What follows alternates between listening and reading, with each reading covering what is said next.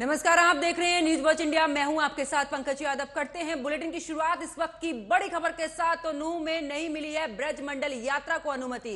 इस वक्त की बड़ी खबर आपको बता रहे हैं, जहाँ पर हरियाणा के सीएम मनोहर लाल का ऐलान और जहाँ पर उन्होंने कहा कि नूह में कल बंद रहेंगे सभी स्कूल और कॉलेज। प्रशासन ने जारी किए हैं आदेश और इसी के साथ आपको बता दें कि इंटरनेट सेवा भी उनतीस अगस्त तक बंद रहेगी। बड़ी खबर आपको बता रहे जहाँ पर नूह में नहीं मिली है अनुमति। नू में नहीं मिली है ब्रज मंडल यात्रा को अनुमति। इस वक्त की बड़ी खबर आपको बता रहे, हरियाणा के सीएम मनोहर लाल का ऐलान और इसी के साथ आपको यह भी जानकारी दे दें कि नू में कल बंद रहेंगे सभी स्कूल और कॉलेज।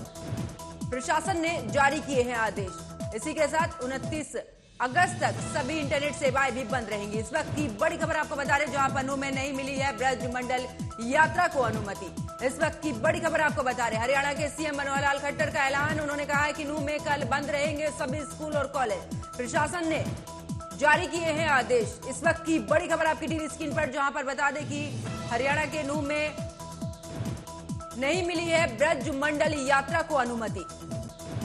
हरियाणा के सीएम मनोहर लाल खट्टर का ऐलान। नू में कल बंद रहेंगे सभी स्कूल और कॉलेज और इसी को लेकर अब प्रशासन ने जारी किए हैं आदेश। इस वक्त की बड़ी खबर आपको बता रहे हैं। तो नू में नहीं मिली ब्रज मंडल यात्रा को अनुमति।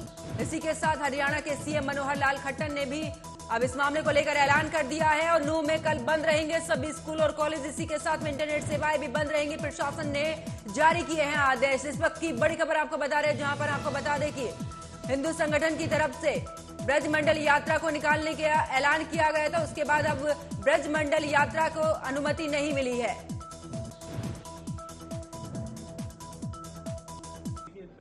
हमने जो ब्रज मंडल यात्रा है, उसके बारे में जो परमिशन थी, वो डिनाई कर दी है। लेकिन कुछ संगठनों ने 28 तारीख को इस यात्रा को निकालने का आह्वान किया था।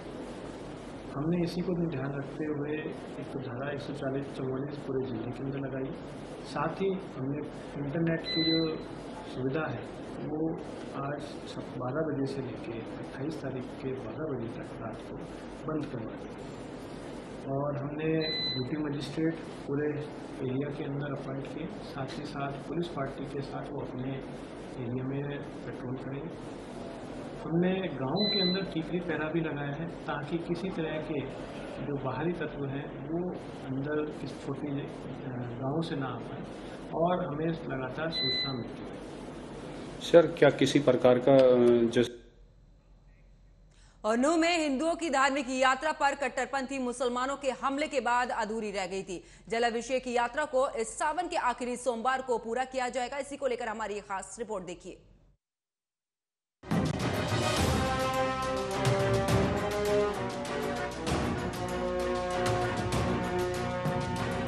कट्टरपंथी मुसलमानों द्वारा हिंदुओं के हर त्योहार पर प्रहार करना आम बात है। चाहे रामनवमी पर शोभा यात्रा हो या चाहे हनुमान जयंती हो, लगातार हो रही जिहादियों द्वारा पथराव से कोई भी हिंदू नहीं डरने वाला है। जिसके चलते नूह में हिंदुओं की धार्मिक यात्रा पर कट्टरपंथी मुसलमानों के हमले के बाद जल अभिषेक यात्रा पूरी करने का निर्णय लिया गया है, जिसको इस सावन के आखिरी सोमवार को पूरा किया जाएगा। विश्व हिंदू परिषद ने ऐलान किया है कि सावन के आखिरी सोमवार को नलड़ में महादेव के जलाभिषेक के साथ ब्रजमंडल यात्रा फिर से शुरू होगी। विश्व हिंदू परिषद का ये भी कहना है कि फिरोजपुर, झिरका में जलाभिषेक के बाद पुनहाना के सिंगार मंदिर में जलाभिषेक तक ये यात्रा अनवरत रूप से जारी रहेगी। विश्व हिंदू परिषद के इस ऐलान के बाद प्रशासन ने हरियाणा सरकार को पत्र लिखकर इंटरनेट पर बैन लगाने की भी सिफारिश की है। इसी बीच एक हिंदू संगठन को यात्रा करने का आरडीएक्स से हमले की धमकी मिली है। इस बीच विश्व हिंदू परिषद के राष्ट्रीय संयुक्त महामंत्री सुरेंद्र जैन का कहना है कि नूह में 28 अगस्त को पूरे दल बल के साथ ब्रजमंडल शोभा यात्रा निकाली जाएगी। इस बारे में प्रशासन को भी सूचित कर दिया गया है। बता दें कि इस यात्रा में लोगों की संख्या को कम या ज़्यादा किया जा सकता है, लेकिन यात्रा को पूरा हर हाल में किया जाएगा। जिहादियों पर लगातार हो रही बुलडोजर से कार्रवाई के बाद भी उनके कान पर जू तक नहीं रेंगी है। बता दें कि इस बीच विश्व हिंदू तख्त के अंतर्राष्ट्रीय प्रमुख और anti terrorist front of India के अध्यक्ष वीरेश संडियाल को भी धमकी मिली है कि अगर नल्हड़ महादेव में फिर से किसी यात्रा को निकालने की कोशिश की गई तो उसे आरडीएक्स से उड़ा दिया जाएगा। इस मामले में उन्होंने पुलिस में भी शिकायत दर्ज कराई है। उन्होंने कहा कि धमकी देने की वजह से हम पीछे नहीं हटेंगे। Bureau report news watch India.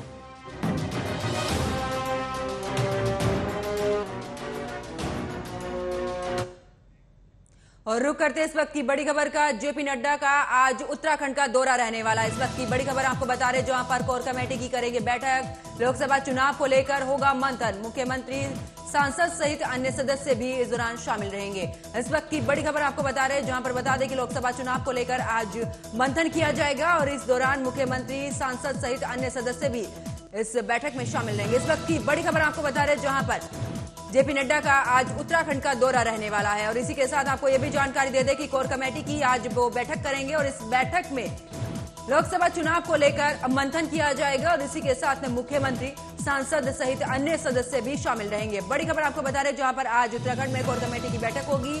JP Nadda का आज उत्तराखंड का दौरा है और इस दौरान आपको यह भी जानकारी दे दें कि कोर कमेटी की बैठक करेंगे और इस बैठक में लोकसभा चुनावों को लेकर मंथन किया जाएगा। इसी के साथ आपको ये भी जानकारी दे दें कि इस कोर कमेटी की बैठक में मुख्यमंत्री, सांसद सहित अन्य सदस्य भी शामिल रहेंगे। इस वक्त की बड़ी खबर आपको बता रहे उत्तराखंड से, जहाँ पर आज जेपी नड्डा का उत्तराखंड का दौरा रहने वाला है।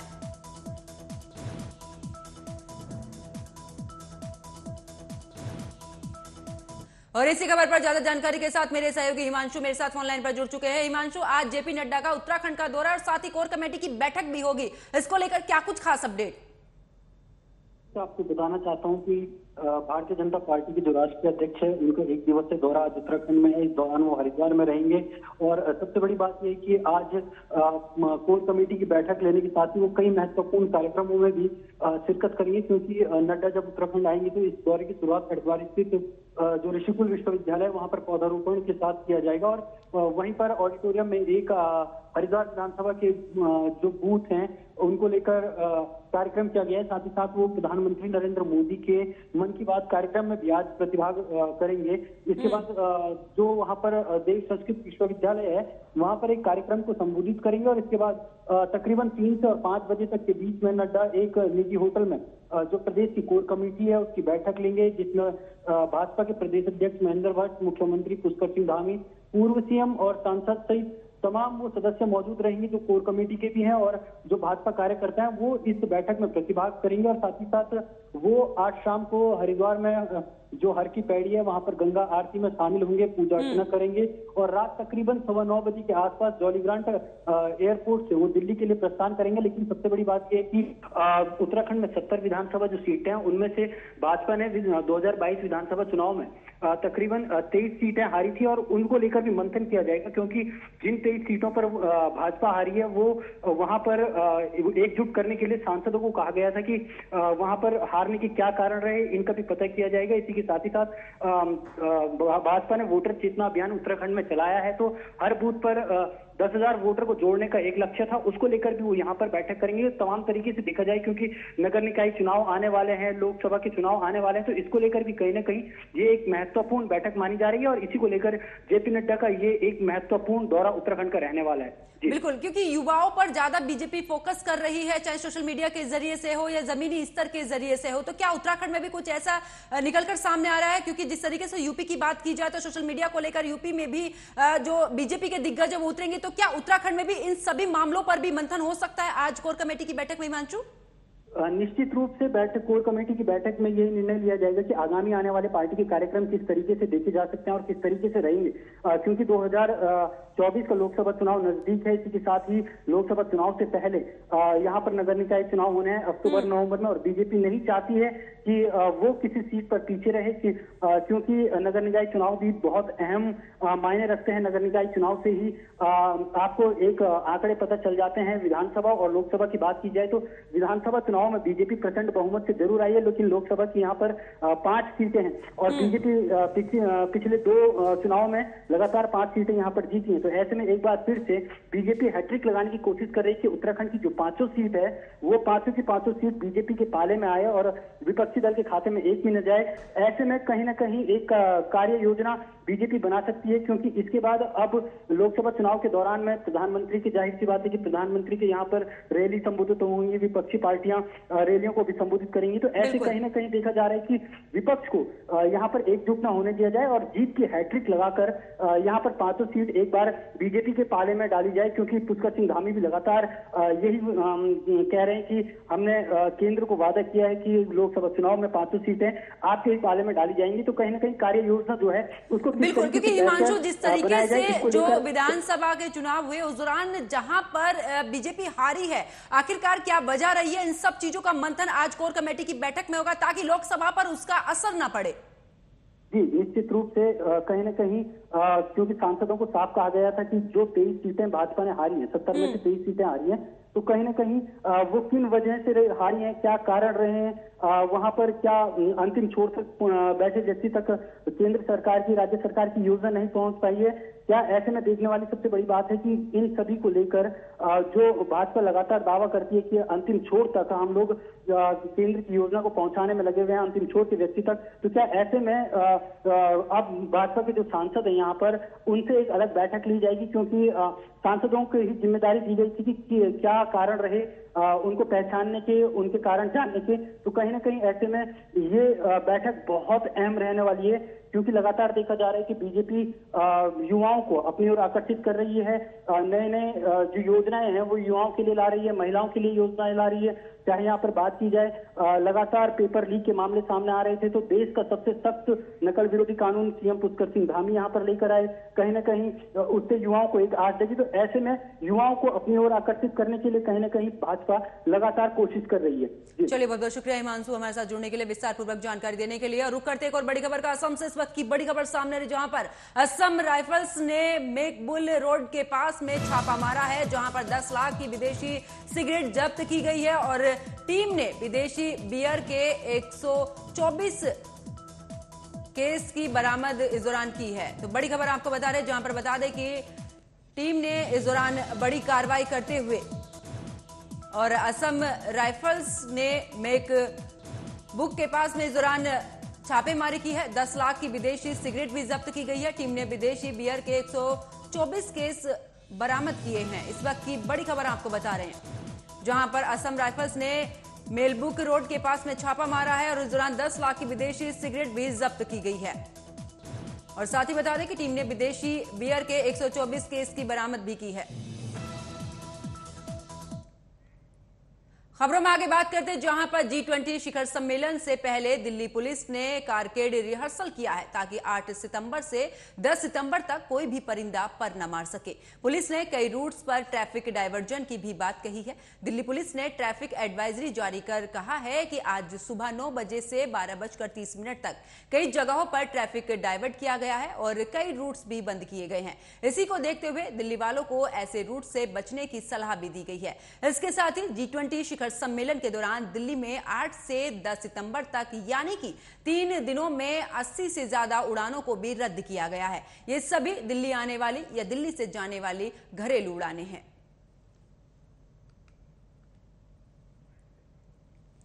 तो जी ट्वेंटी शिखर सम्मेलन को लेकर प्रशासन काफ़ी अलर्ट नज़र आ रहा है और दिल्ली की अगर बात की जाए तो आज कई ऐसे ट्रैफ़िक रूट्स हैं जिनको डाइवर्जन भी किया गया है और साथ ही आपको बता दें कि दिल्ली पुलिस का कार के रिहर्सल भी इस दौरान देखने को मिला है, जहाँ पर पुख्ता किस तरीके से इंतज़ाम किए जाए, इन सभी के बारे में भी रिहर्सल के द्वारा जानकारी दी गई है।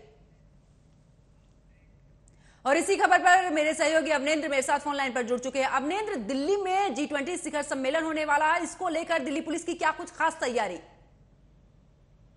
जी, बिल्कुल देखिए, राजधानी दिल्ली में सितंबर महीने में जी ट्वेंटी समिट होने जा रहा है। इस समिट को लेकर जो दिल्ली में तैयारियाँ हैं, पूरी कर ली गई हैं जी ट्वेंटी समिट को ध्यान में रखते हुए दिल्ली सरकार ने आठ, नौ और दस तारीख की छुट्टी का ऐलान किया है। दिल्ली सरकार ने एमसीडी के सभी दफ्तर भी इन तीन दिनों में बंद रहेंगे और इसके साथ ही सभी स्कूल भी बंद रहेंगे। इसके साथ दिल्ली पुलिस ने ट्रैफ़िक एडवाइजर की भी तैयारी कर ली गई। इसी दौरान दिल्ली पुलिस ने नई दिल्ली के ज़िले के तहत आने वाले बैंक भी जो है, वो भी बंद रखे जाएँगे। दिल्ली पुलिस पहले से ही चिन्हित दुकानें हैं, जो व्यवसाय जगह, वो भी बंद की जाएँगी। दिल्ली पुलिस जो है, तमाम जो एडवाइजर है, वो भी जारी कर दिया। दिल्ली पुलिस की तरफ़ से साफ़ तौर से कहा जा रहा है जी ट्वेंटी को लेकर तैयारी पूर्ण कर ली गई है। अवनिंद्र, अगर बात की जाए, क्योंकि आज भी खबर निकलकर सामने आई कि सुबह नौ बजे से लेकर साढ़े बारह बजे तक के कई ऐसे रूट हैं, जिनको डाइवर्जन इस दौरान उनका किया गया है। तो ऐसे कौन कौन से रास्ते हैं? देखिए ट्रैफ़िक पुलिस ने जी ट्वेंटी शिखर सम्मेलन के दौरान लोगों को परेशानी से बचने के लिए गूगल मैप पर मैप के साथ बातचीत कर बंद रास्तों की जानकारी साझा की अगर आठ से 10 सितंबर को के बीच प्रगति मैदान के आसपास के रास्ते से फ़ोन पर सर्च करते हैं तो वो क्षेत्र आपको बंद दिखेगा। साथ ही अगर आप कोई नई दिल्ली इलाके में होता है हुआ दिल्ली के अन्य हिस्सों में जाना चाहता है तो मैप उसे नए विकल्प मार्ग से दिखाएगा रास्ता दिखाएगा और इसके अलावा यातायात पुलिस अपनी वेबसाइट पर और सोशल मीडिया के माध्यम से भी जानकारी साझा की है। हम्म।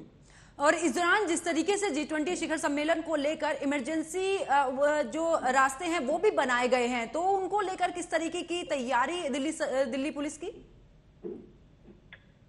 बिल्कुल, देखिए, जिस तरीके से इमरजेंसी अगर बात करते हैं तो उन्होंने बताया दिल्ली पुलिस जो है, स्वास्थ्य सेवाओं को ध्यान में रखते हुए एक एंबुलेंस सहायता नियंत्रण कक्ष, जो है, सुविधा बनाया गया वो सात सितंबर की रात 12 बजे से 11 सितंबर रात 12 बजे तक शुरू करने जा रही है यातायात पुलिस के कर्मी भी मौजूद रहेंगे। और इस तरीके की तमाम जो एमरजेंसी किसी तरीके की होती है तो उसके लिए भी दिल्ली पुलिस ने रूट बनाए हुए हैं।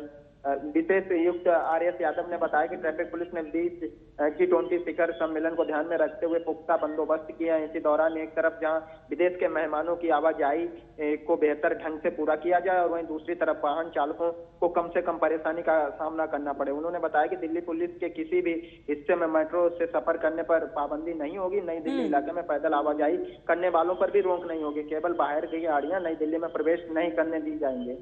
बिल्कुल। अवनिंद्र खबर ये भी निकलकर सामने आ रही कि उड़ानें भी रद्द की गई हैं। जी, बिल्कुल देखिए, कुछ जो है, फ्लाइटें हैं जिनकी उड़ानें रद्द की गई हैं सात से लेकर दस के बीच में जिस तरीके से, क्योंकि तमाम जो बाहर के मेहमान आएँगे, उनके लिए वो स्पेशल उड़ाने होंगे और उसके बाद अगर कोई और आना चाहता था इंडिया तो इसके लिए वो उड़ाने जो है, वो कैंसिल करनी पड़ेगी। चलिए बहुत बहुत शुक्रिया आपने इंद्र हमारे साथ जुड़ने के लिए विस्तार पूर्वक जानकारी देने के लिए। खबरों में आगे बात करते हैं, जहाँ पर प्रधानमंत्री नरेंद्र मोदी आज 12 बजे बी ट्वेंटी इंडिया समिट को संबोधित करेंगे।